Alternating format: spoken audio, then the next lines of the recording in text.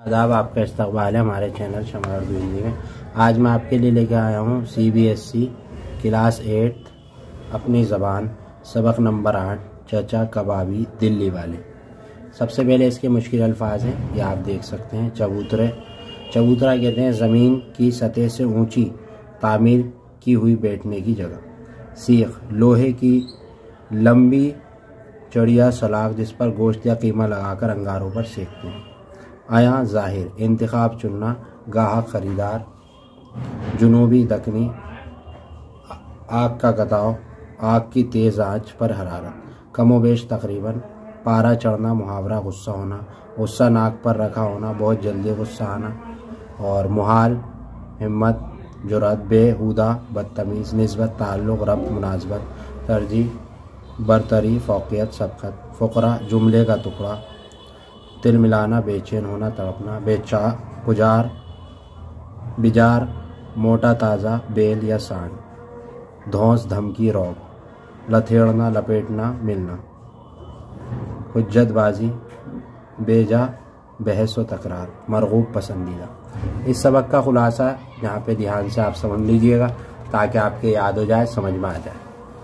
इसमें खुलासा ये है कि दिल्ली की शाही जामा मस्जिद की फुलवारी वाले चबूतरे के नीचे पटरी पर शाम पाँच बजे एक कबाबी दुकान लगाकर देर रात तक कबाब बेचा करता था। ये चचा कबाबी के नाम से मशहूर थे। कबाब बनाने के कमाल पर इन्हें बहुत गुरूर था। इनके साथ एक छोटी बच्ची आग का ताव बरकरार रखने के लिए पंखा जलती रहती थी।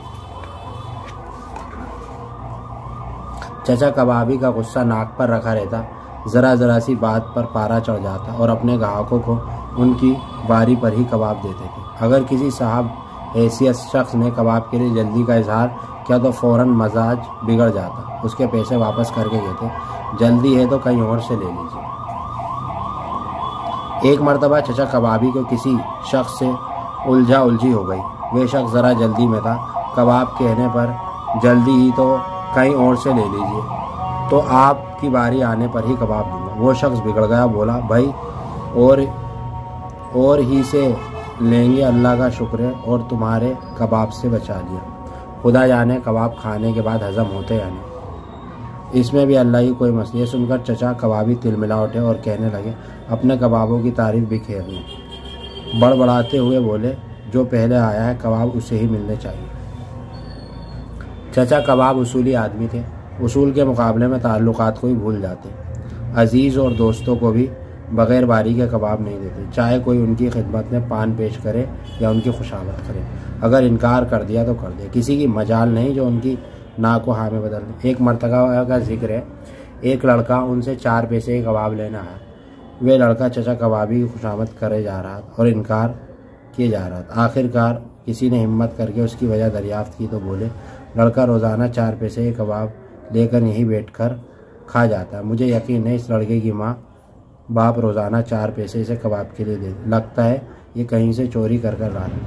इसलिए अपने चार पैसे कमाने की खातिर उसकी आदत ख़राब करके इसे तबाही के रास्ते पर नहीं जाने चचा कबाबी इन लोगों से तो खुश होते ही थे जो उनकी दुकान पर बैठकर ताज़ा कबाब खाते थे। लेकिन जो ऑर्डर बुक कर कर जामा मस्जिद के दलान में जा बैठते थे, उनके लिए वो ख़ास तरीके से तैयार करके भिजवा दें। मौलाना रशीदुल खैरी भी चचा कबाबी के पुराने ग्राहकों में से एक थे। चचा कबाबी के कबाब उनके मरगूब भी जाते समझ में आ गया होगा आपके? अब इसके बाद भाई इसके सवाल जवाब है। ये तशरी है यहाँ पे। तशरी लिखने को आ जाए आप तो तशरी यहाँ से देख के लिख देना। ये तशरी मैं आपको दिखा रहा हूँ। ठीक है? और ये इसके बाद यहाँ पे भी है। इसकी तशरी आप देख सकते हैं। और अख्तामी यहाँ पे सवाल जवाब है। आप सवाल जवाब भी कर सकते हैं। ये सवाल जवाब। मंदर जेल में से इनका मुसनफ़ कौन है? ठीक है तो यहाँ से आप सवाल जवाब देख सकते हैं अच्छे से। सवाल जवाब पढ़िए और इसे याद करिएगा। ठीक है, यहाँ पे भी सवाल जवाब है कि जैसे चचा कभी अपनी दुकान कहाँ लगाते थे? जामा मस्जिद के फुलवारी वाले चबूतरे के नीचे पेड़ी पर दुकान लगाया करते थे। उनकी खसूसियात बताएँ भी समझाई वो सब आप यहाँ से देख लेंगे। ये सवाल जवाब है। आप यहाँ से समझ लेंगे। इसके बाद यहाँ पे जुमले जुमले तो आपको पता ही आते हैं इसमें। जुमले भी आप देख लेंगे। ठीक है, जुमले में क्या होता है? बहुत आसान है। उस लफ्ज़ का यूज़ करना है और वो सेंट जैसे मरगूब। मुर्गा मुसलम मुसलमानों को मरगूब दी जाए। अमली का मेरा मुरक्कब अल्फाजी में, जंगबाजी, निशानेबाजी, ये सब है। और इसके बाद यहाँ पे ये जो है, एक और ये चीज़ आ गई। काका। पढ़ा है तो ये सारी चीज़ आप पढ़ लीजिए। उम्मीद है कि आपको ये समझ में आ गया होगा। अगर वीडियो पसंद आई तो लाइक करिए, शेयर करिए और अपनी क्लासेस में शेयर करिए और चैनल को सब्सक्राइब करिए। शुक्रिया।